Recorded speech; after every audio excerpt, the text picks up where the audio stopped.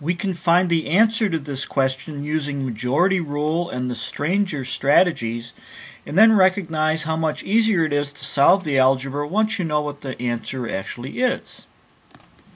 We can quickly notice that four of the answers have a square root sign in them, so A probably isn't the right answer.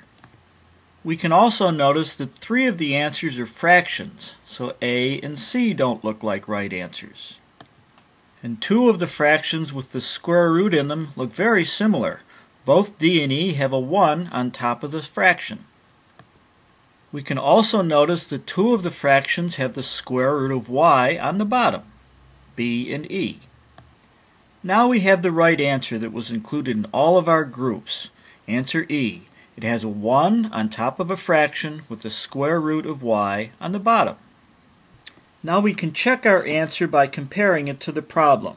If x is greater than 0 and y is greater than 0, which of the following is equivalent to x over y times the square root of y over x squared? We can begin by putting everything under a square root sign. So we have x squared times y over y squared times x squared, all under our square root sign. Now we can compare this complex square root fraction with our simple answer e. Do you see how we get there?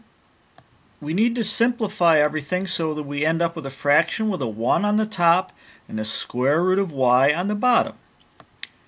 We simply cancel the x squared from the top and bottom of the fraction, cancel a y from the top and bottom of a fraction, and we're left with a 1 on the top of the fraction and a square root of y on the bottom. Testing for the public. Nonprofit since 1985. No one makes things easier.